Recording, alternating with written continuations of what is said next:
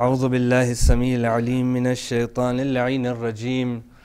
بسم الله الرحمن الرحيم. الحمد لله رب العالمين. والحمد لله الذي جعلنا من المتمسكين بولاية أمير المؤمنين والأئمة المعصومين عليهم السلام. والحمد لله الذي هدانا لهذا. وما كنا لنهتدي لولا أن هدانا الله. ثم الصلاة والسلام على أشرف الأنبياء والمرسلين. خاتم النبيين شفيع المذنبين حبيب إله العالمين بالقاسم مصطفى محمد. صل على محمد وآل محمد. وعلى آل بيته الطيبين الطاهرين المعصومين ولعنة الله على أعدائهم أجمعين من يوم عداوتهم إلى يوم الدين. أما بعد فقد قال الله عز وجل في كتابه الحكيم وهو أصدق القائلين بسم الله الرحمن الرحيم اليوم أكملت لكم دينكم وأتممت عليكم نعمتي ورضيت لكم الإسلام دينا. آمنا بالله صدق الله العلي العظيم. اللهم صل على آل محمد أما بعد السلام عليكم جميعا ورحمة الله وبركاته I begin in the name of Allah subhanahu wa ta'ala.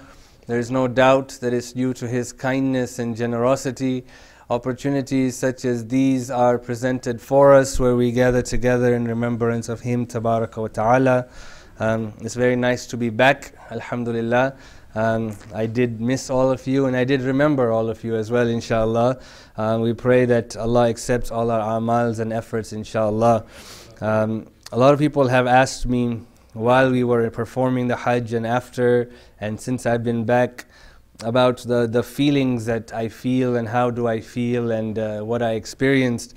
Um, and I was very hesitant to answer because there were a lot of thoughts going through my mind. Um, the experience was no doubt, um, I feel, a life altering experience. And inshallah, um, what I've done is I put my thoughts down um, into paper, and tomorrow, Thursday night's lecture, I will, I will talk about my experience of Hajj, inshallah.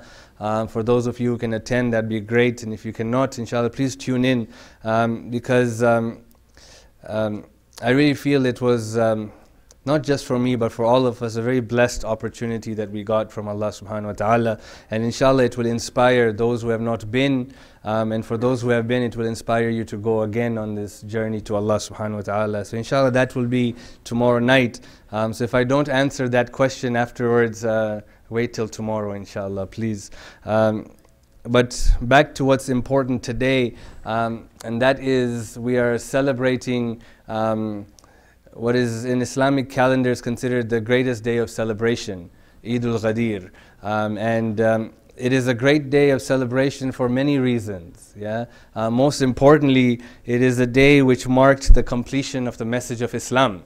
Allah subhanahu wa ta'ala um, describes this in the Holy Quran by the verse which I read in the sermon, where He says, Al-yawma akmaltu lakum dinakum wa atmamtu alaykum ni'mati wa raditu lakum al-islama Dina. Yeah, he says that today I have um, completed your religion for you, and I have perfect I have perfected your religion for you, and have completed my favors upon you, and I am pleased to call this religion Islam.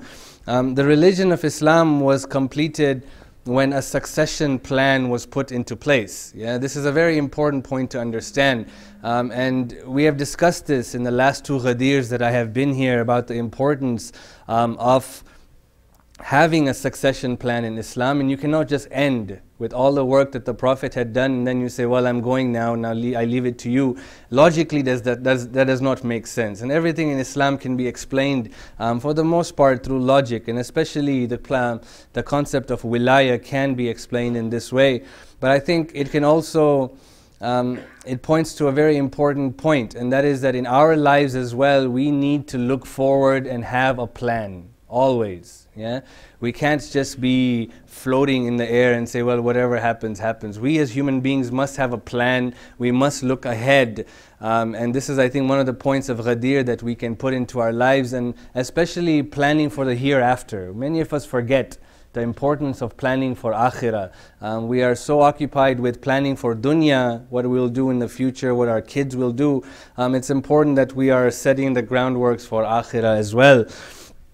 Another important point that came out of the incident of Ghadir is it highlighted the importance of the concept of wilaya and how important this concept is, and we have discussed an entire lecture on this subject.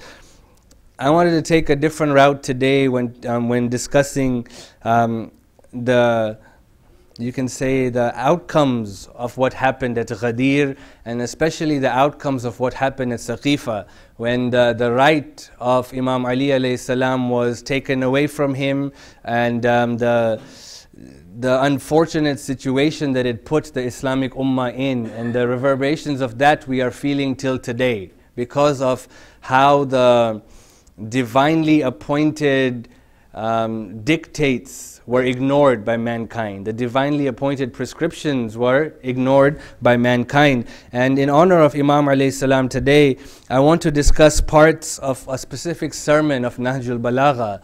Um, in which Imam alayhi salam discusses the first, the, the era of the first three Khalifas, yeah, and how difficult it was for him to be present during that era of the first three Khalifas. And then he discusses his own caliphate after that. Now, this is from his own words. And this is the third sermon of Nahjul Balagha, and it is known as uh, Khutbatu Shaq Yeah?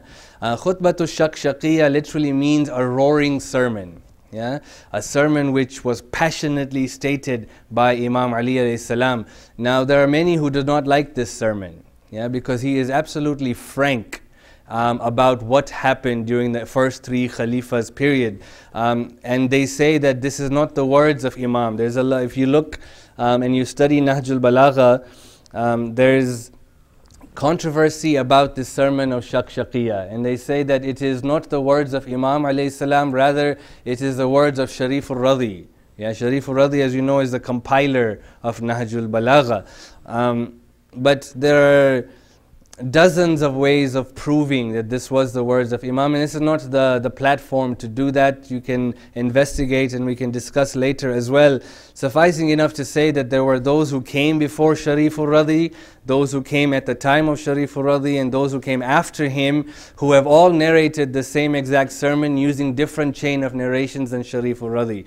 Thus proving that this sermon existed in its own independently and it was the words of Imam Ali alayhi salam most of the chains of narrations go back to Ibn Abbas. Ibn Abbas, as we know, is the cousin of the Prophet and Imam Ali alayhima afdalu salatu wassalam.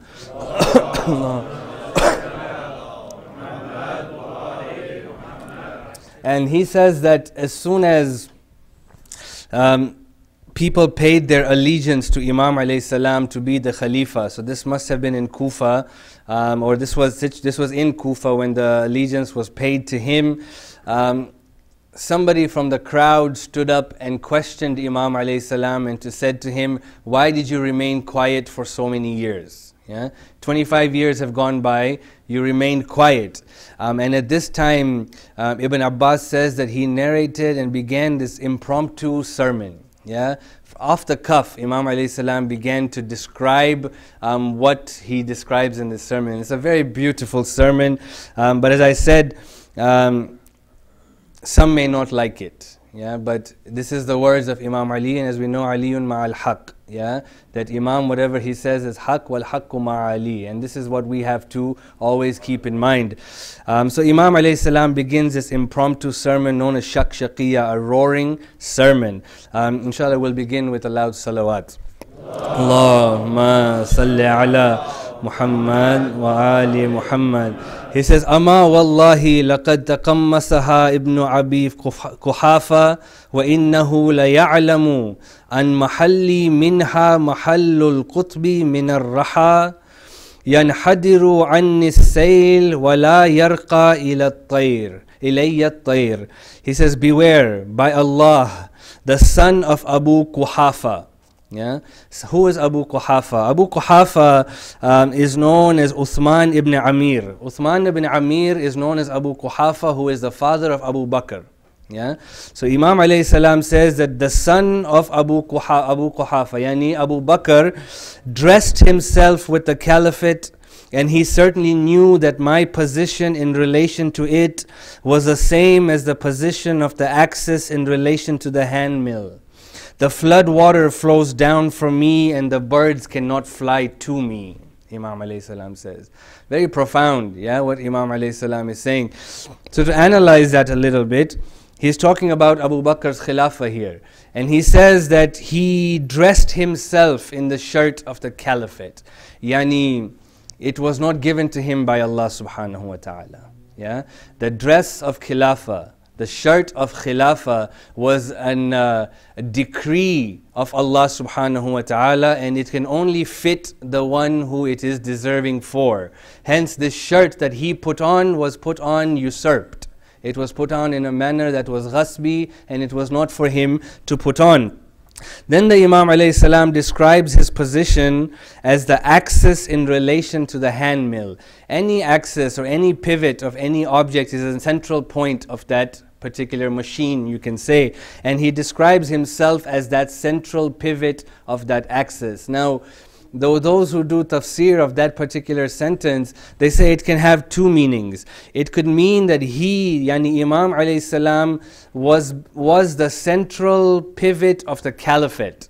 Yeah? And everyone who came before him, though it was usurped, it was Imam salam who was the central pivot behind the caliphate. Were it not for Imam, the entire Muslim Ummah would have crumbled. And we see clear proofs of this in history. How many times the first and the second and even the third um, issued an edict which was completely incorrect, and then they had to call Imam alayhi salam to try and fix that particular situation. So Imam alayhi salam describes himself as that central pivot that held the entire um, concept of caliphate together. Um, but it can also be understood as saying that he was the central pivot of existence upon earth. Yeah? If it were not for Ali, the dunya would not have existed. Yeah? And this is because there's a clear hadith that comes from our Aimma salam which say that the world cannot exist even for a moment were it not for the proof of Allah subhanahu wa ta'ala. Hence as he was the proof of Allah subhanahu wa ta'ala after the Prophet sallallahu alayhi wa alihi wa sallam Muhammad wa ali Muhammad, the world would cease to exist. And this is why that final line that he said was very beautiful in the beginning statement where he says, ينحدر عن السبيل ولا يرقى إلي الطير. He says then that flood water um, flows down from me. Yani ilm, knowledge flows down from me and birds cannot fly up to me. Yeah? Meaning nobody can reach my status. You know, when you read these type of things, right, it comes out as being very arrogant, doesn't it? Yeah? But honestly, if somebody had a right to be arrogant, would it not be Ali? Yeah? Um, if somebody had the right to be arrogant, would it not be the Prophet? And especially at 25 years of people not realizing the haqq of Imam Ali salam, he himself had to describe it to the people for them to understand. And in, in, in the Hajj, that we went. You know, um, uh, Alhamdulillah, I had the opportunity to room with a, with a very good scholar, and uh, we were discussing um, why why is uh, Ghadir uh, not mentioned in Nahjul Balagha. Now, of course, Nahjul Balagha is the compilation of Sharifur Radi. Yeah? It is not all the words of Imam salam. It is merely Sharifur Radi decided to pick certain sermons which were the peak and the best sermons of Imam Ali alayhi salam. Um, but you don't find that many statements even in history um, which state that Imam alayhi salam tells the people, do you remember Ghadir? Imam never said that, do you remember Ghadir? And the question we asked each other was why? Why did the Imam never say that? It's clear. It's not like we can deny the incident of Ghadir took place, isn't it? Um, so we have to ask why is it that this incident of Ghadir has not been mentioned by the Imam and specifically by Imam Ali salam, especially in Saqifa. If Saqifa took place right after the wafat of the Prophet, we're talking about span of what about 70 days or maybe three months yeah? Um, it's still fresh in the people's mind. How come in Saqifa Imam alayhi salam simply did not say to the to the few who were gathered there don't you remember Ghadir? Yeah? Don't you remember Umar ibn Khattab coming to me and say bakhin bakhin ya Ali congratulations to you O Ali yeah, clear in history. All the books will find that Umar and Abu Bakr came to Imam and said to him, Bakhin, Bakhin, Ya Ali. Congratulations to you, O Ali, for the status which you have um, reached. And the only conclusion that we can truly draw is that um, it is because of a span of about a hundred years where it was forbidden to write down history it was forbidden to write down hadith. And this was started at the time of Umar ibn Khattab. Umar, and even he enforced it at the time of Abu Bakr, forbade the Muslims to write hadith. There's entire books on this subject about how they forbade people to write down hadith or history. And Umar's logic during this time was that he did not want the religion of Islam to be like the religion of the Jews, where there is no distinction between the word of God and the word of man. You don't know where the word of God ends and where the word of man begins. So Omar said, eh, for Islam not to have that same type of fate, let us keep the book of God um, complete and let us forget everything else. So history, the first account of history was written at the time of uh, by Ibn Hisham um, which has came about 120 years during the time of Imam as-Sadiq alayhi salam. Um, so Muhammad wa ali Muhammad. Yeah? And when he presented this book of history to the caliphate um, to make it a state-sponsored book, um, they said that this book is too long and remove and make it into a one-third of what it is. Um, now, you can read into that. Yeah, this was the uh, Amawi Abbasi period, and they did not want in the books of history that which would shame them. Yeah, so you can read that incident any way you want and say two thirds needs to be removed. A lot can be removed, but there's no doubt that this incident of Ghadir did take place, and the Imam alayhi salam is describing himself um, in that way so that the people can remember. So even though Ghadir is not mentioned implicitly, um, you can pick up Ghadir from messages like this where he says, look, flood water flows from me. The Prophet taught me thousand doors of knowledge. All of these are reminders to people that he was selected by Rasulullah for a specific purpose. Um, and additionally a point, and I'm going off a little bit, but the same scholar mentioned to me that, you know, when he discusses with with our brothers in faith, you know, um, they always say, how come, how come um, Imam Ali is not mentioned in the Quran straightforward? If, if really God intended it to be, yeah? We can go around and find verses which talk about Imam, but how come it's not mentioned straightforward in the Quran? How come there are no clear hadith like hymns reminding people about Ghadir? And we discussed that in a bit, which we just did. But he says, you know, they, when we bring hadith like there has to be a hujjah on earth, um, they say, well, why? Prove it to me. It's just a word of man. Why does there have to be a hujjah of earth? And he says that the best argument that he can present to people when they discuss the wilayat of the Ahlul Bayt alayhi um, are the words of the Aimma alayhi.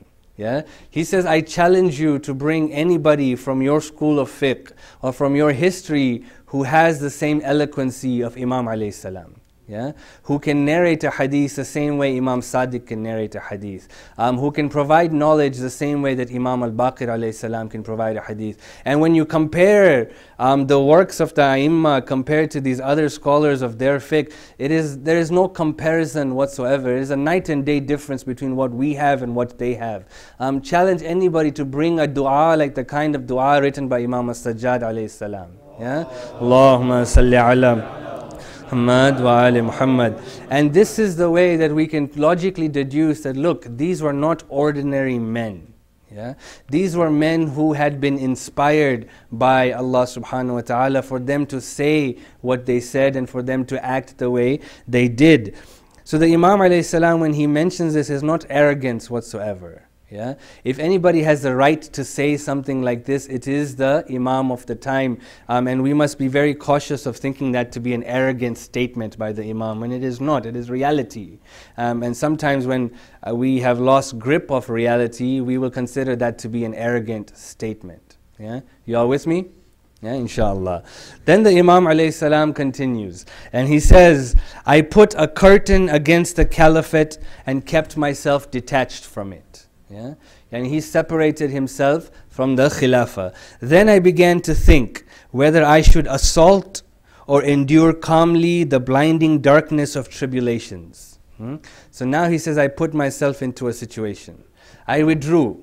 When they had Saqifa and Abu Bakr took the Khilafah, I withdrew. But then I had a choice. I can fight, he said. Hmm? Or I can remain patient. But this type of enduring calmly the blindness of the blinding darkness of tribulations, wherein the grown up are made feeble and the young grow old, and the true believer acts under strain till he meets Allah subhanahu wa ta'ala. Yeah? Yani the the difficulty of that situation was such that it would make an old man um, feeble. It would make a young man into an old man. Yeah, it would change a human being. Yeah, you know if you ever find um, yourself in these type of situations where um, uh, you started with a black beard and then all of a sudden because of certain situation you got a white beard yeah, I think Molana Rizvi has talked about that a couple of times, yeah? Um, that it was certain situations which have caused him to grow older and look older than he is. Um, this is because of very difficult situations that one is placed under. Um, the Imam salam describes that period of uh, strain um, as a period where the young would grow old, they would look old, they would feel old. That's how difficult that situation was. He says, I found that endurance thereon was wiser. Um, instead of fighting, he says, I found that patience, endurance, was going to be the wiser thing to do during this time. And when we think about it in a lot of situations in life, it is true that patience and endurance is the wiser move. Yeah? Rather than always trying to stand up for your haqq um, and trying to fight for your haqq, sometimes when your haqq is being taken away, it might be the wiser thing to just let it go yeah, and endure the, the, um, this difficult time because you know that the truth will always prevail. The truth will always prevail. And this has been a very important lesson that I've tried to apply into my life, and that the Imam salam has taught us this that when you're faced with constant challenges and obstacles, sometimes it is better just to let the, the waves come yeah? And endure as much as you can and there's no need to fight back every wave that comes. Let it come and eventually as god says ja'al haqq wa zahaq al batil batila kana zahuqa. That uh, the truth has come and falsehood has vanished. Indeed falsehood is bound to vanish. Eventually your haqq um, will come to you. And not in this life, in akhirah, inshallah, but you will never be deprived of your rightful situation. Then the Imam salam says, So I adopted patience, although there was pricking in the eye and suffocation of mortification in the throat. Yeah? Look at the level of patience that the Imam says. It was like he had something in his eye for 25 years and could not remove it. Yeah? Remember, if you're walking and dust comes into your eye, how difficult it is, and you're constantly scratching. Imam says it was like that, and it was like I had dust in my throat and I could not breathe. But that is how um, difficult those 25 years, the Imam says, were for him, and he had to endure. He says, I watched the plundering of my inheritance. Uh, this is a very beautiful statement by Imam alayhi salam because he's describing this this concept of wilaya as his God given inheritance. Yeah? Um, when we have children or when we are the inheritors of something, um, and if somebody deprives us of that inheritance, they are depriving us of God given right of ours. Yeah? Um, my daughter has a God given right upon me to inherit from me. God given. So if I give that to somebody else, I have taken, I have deprived her right that God had given her.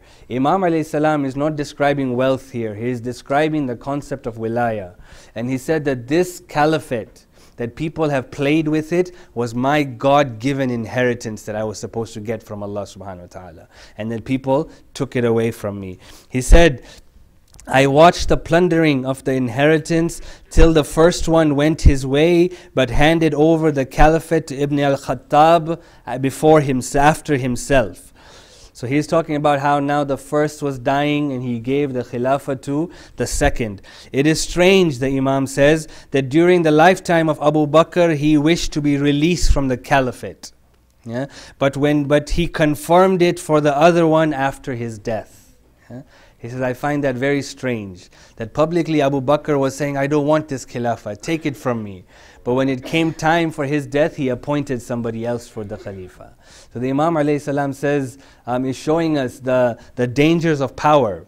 Yeah? And uh, the danger, and this is why a lot of times, you know, um, those who have come into power unjustly uh, will always um, pass on their power to their family, isn't it? You look at any um, dictatorship. Yeah, um, they were always grooming their children to take over. It happened in Syria. Um, it was happening in Iraq with Saddam and his two children. Um, wherever you look at, even in Libya, um, they were always grooming that which was not theirs. They were always grooming other people to take over that particular leadership.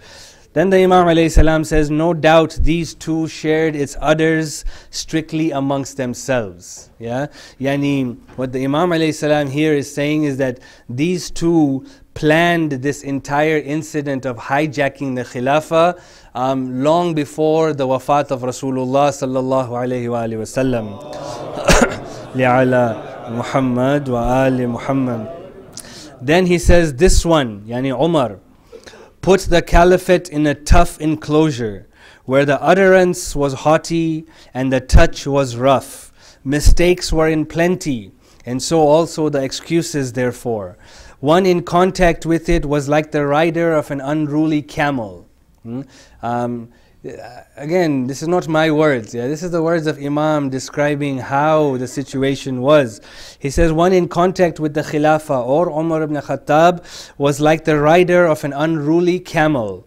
If he pulled up its reins, the nostrils would be slit, but if he let loose, he would be thrown from the camel. Yeah?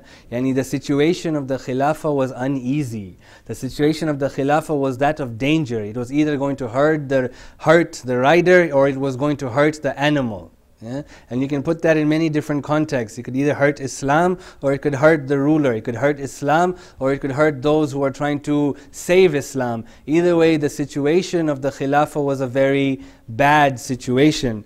Consequently, by Allah, people got involved in recklessness, wickedness, unsteadiness, and deviation. This was the consequence of the second Khilafah.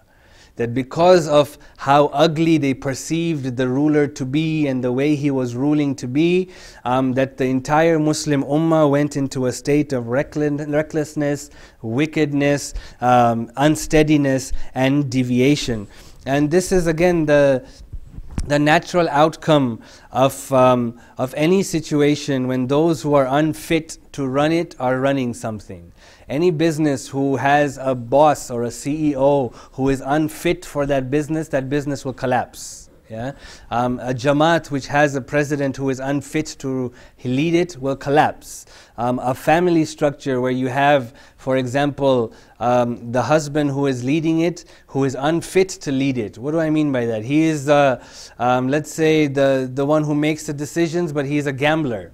Yeah? So he gambles away the family's money, is unfit to lead that family, will ruin that family. So here the Imam salam is describing to us any situation that you must be careful that whoever is leading that situation is rightly suited for that.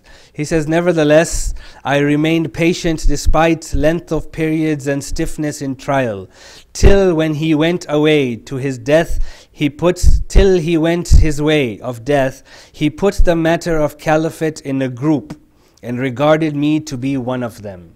Yeah? Here he is describing when Umar was wounded by Abu Lu'lu and he saw that it was difficult for him to survive. Um, he placed, and what he formed was a shura, wasn't it? A consultative um, group of five or six people whom he felt to be uh, most fit to be next. And then he said, You guys decide amongst yourselves who will be the next Khalifa. Um, so the Imam says, and he regarded me to be one of them. Now, there were six people, I believe, who were nominated. Ali ibn Abi Talib alayhi salam, Allahumma salli ala Muhammad wa ali Muhammad. Abdul Rahman ibn Auf, uh, Az-Zubair ibn al-Awwam, Sa'ad ibn al-Waqqas and Talha bin Ubaid, um, Ubaidullah. So five people. And he bound them for three days of, um, after his death. They must pick um, the next Khalifa. So here the Imam alayhi salam is describing this situation. Um, but the Imam was disgusted by this situation. And he clearly mentions his disgust in the sermon. But he says, But good heavens, what had I to do with this consultation? Yeah? He says, where, where was there any doubt about me with regard to the first of them, that I now was considered akin to these last ones? Yeah? Subhanallah. Yeah? Again, I read the words of the Imam. Yeah? He says, Where was there any doubt about me against the first, that they now put me in a consultation with the rest? Um, but I remained low when they were low, and I flew high when they were high. It's a very interesting statement um, by the Imam. Um, and I think you can look at that many different ways. Um, but he says, what, what we can take from that is that he joined in this consultation because he knew his guidance was needed in that consultation. I flew when they're low when they were low, and I flew high when they're high. He could have turned their back his back on them at any time. Um, and then God knows where this religion would have been if it were not for the constant guidance of Amirul Mu'mineen. So here it says, I flew with them no matter what they did. He says then, one of them turned against me because of his hatred, and the other got inclined the other way due to his in law relationship and this thing and that thing. When we look at this particular consultation that took place, I mean, we look at the people who are there. Um, Abdul Rahman ibn Auf was the husband of Uthman's sister. Yeah, so he had a family relationship with Uthman. Naturally, he was going to incline towards Uthman. Um, Sa'ad bin Abi Waqqas, um, besides having malice towards Imam Ali salam, um, was a kinsman of Abdul Rahman, a tribesman of Abdul Rahman. And as we know at that time, um, and maybe till today, tribesmen will stick to one another. So because Abdul Rahman was his tribesman and Abdul Rahman was voting for Uthman, hence Sa'ad no doubt was going to vote for Uthman. So the Imam salam says, look, it was clearly decided when they put me in that consultation which way it was going to go. And then the, the third or the fourth you can say is Talha bin Ubaidullah was also inclined to Uthman. Um, merely for his hatred of Imam alayhi salam. And the reason why this was is that he was from that group or the tribe of At-Taymi. And when Abu Bakr became the Khalifa, the Banu Hashim and the At-Taymi began to have a feud with one another. Hence, he did not like anybody from the Banu Hashim. Imam was from Banu Hashim. Naturally, he was not inclined towards the Imam. So the Imam says that, look, I looked at that situation and there was no doubt that I was not going to come out on top based on that due to people's animosity and family relationships. Till the third of these people stood up and heaving breasts between his dung and fodder. With him his children of his grandfather, yani the Umayyah. Now he's talking about Uthman. The third one stood up. With him his children of his grandfather. Yeah. Um, Uthman bin Affan belonged to the clan of Bani Umayyah. So when he said the children of his grandfather here, he is talking about the Bani Umayyah coming into power because of Uthman. He says, with him his children of his grandfather also stood up, swallowing up Allah's wealth like a camel devouring the foliage of spring. Till his rope broke down, his actions finished him, and his gluttony brought him down prostrate. Um, it says that when uh, Uthman was appointed the Khalifa, Abu Sufyan, who was now 90 years old at that time and blind, um, came to congratulate the new Khalifa and he gave him the following advice. He says, It is after long that the Khilafat has come to us. Yeah? If you remember, he was fighting for the Khilafat from the very beginning. Finally, he says, It has come to us. Now kick it around like a ball and use it to strengthen Banu Umayyah. This, is, this new power which you have in your hands is everything. It is the only reality. Nothing else is real or important. Heaven and hell are nothing. So, this was what Banu Abu Sufyan advises his um, relation, his relative, um, Uthman. Um, Imam salam says it is they who devoured the Baytul Mal. They took it into their own until gluttony finished them. Um, and it was this um, self indulgence and nepotism, which, which got the people to be angry, and eventually they um, attacked the house of Uthman and um, eventually murdered him. At that moment, Imam salam says, Nothing took me by surprise, but the crowd of people rushing to me. Now he's talking about his own khilafah. He says, Nothing took me by surprise anymore. I have seen everything. Yeah, I've seen the one who took, who wore the shirt of Khilafah when it was not his to be worn. I have seen the one who ruined the Islamic nation and the deprivation ran over it. I have seen people who have now are um, living in that state of gluttony and nepotism. So he says, Nothing surprised me anymore but the crowd of people rushing to me. It advanced towards me from every side like the mane of a hyena, so much so that Hassan and Hussein were getting crushed, and both the ends of my shoulder garment were torn. They collected around me like the herd of sheep and goats. Yeah? This is how he describes the people now coming to him. When I took up the reins of government, one party broke away. Here he's talking about فلما نحذت بالأمر نكثت طائفة ومرقت أخرى وفسقت آخرون When I took up the reins of caliphate, one party broke away. This is the party of Jamal. Aisha, Talha, and Zubair. Then another turned disobedient. He's talking about the battle of Siffin with Muawiyah. And while the rest began acting wrongfully, the battle of Nahrawan and the Khawarij, um, as if they had not heard the words of Allah saying, تِلْكَ الدَّارُ الْآخِرَةِ نَجْعَلُهَا لِلَّذِينَ لَا يُرِيدُونَ عُلُوًا فِي الْأَرْضِ وَلَا فَسَادًا وَالْعَاقِبَةُ لِلْمُتَّقِينَ He says, as if they had not heard Allah's words when he said, This is the abode of the hereafter, which we shall grant to those who do not desire to domineer in the earth, nor to cause corruption, and the outcome will be in favor of the God wary.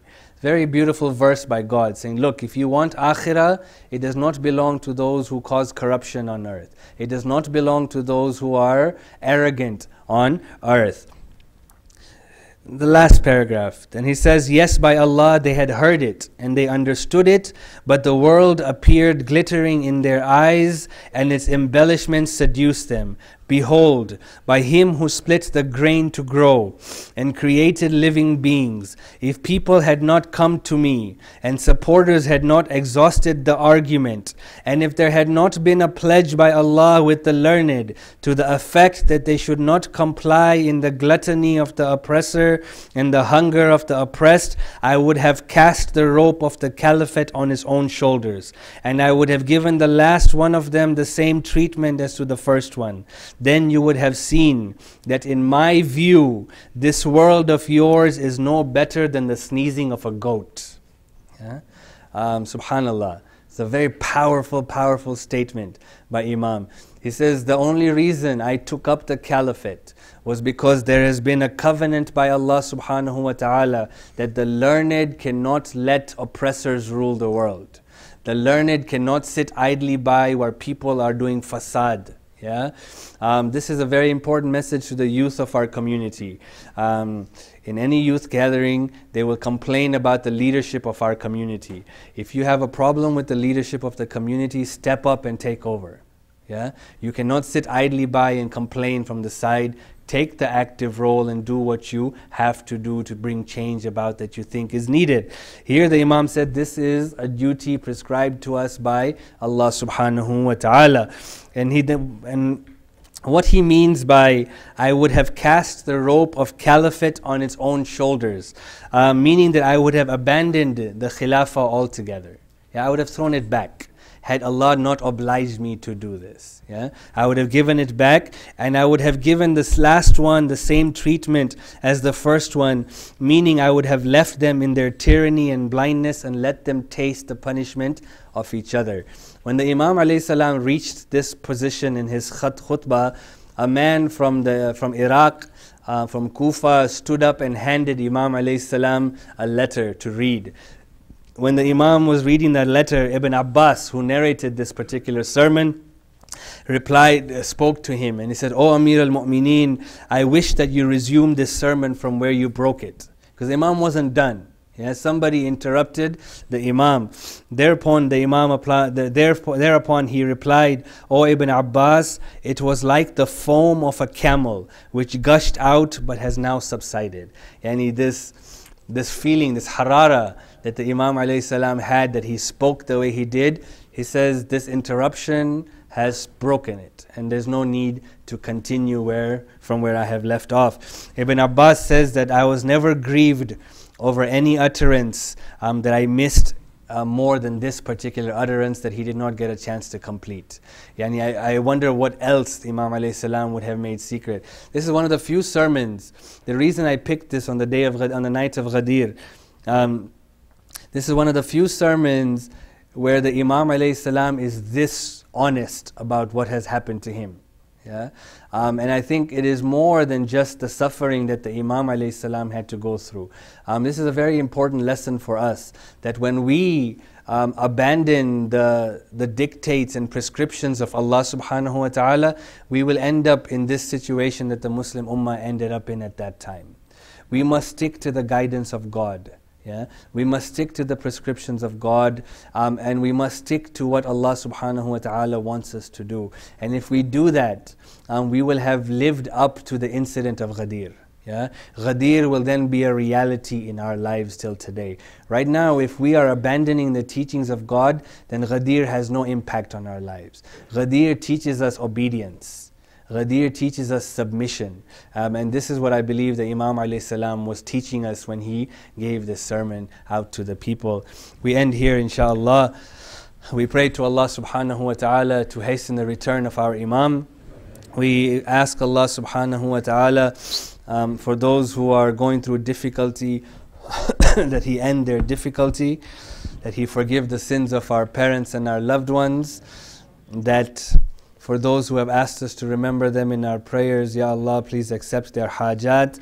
And lastly, we thank Allah subhanahu wa ta'ala from the bottom of our hearts that He has made us amongst those who have held on steadfast to the wilayats of uh, Muhammad wa Ali Muhammad salawatullahi alayhim ajma'in. اللهم صل على محمد وآل محمد وآخر الدعوانا الحمد لله رب العالمين.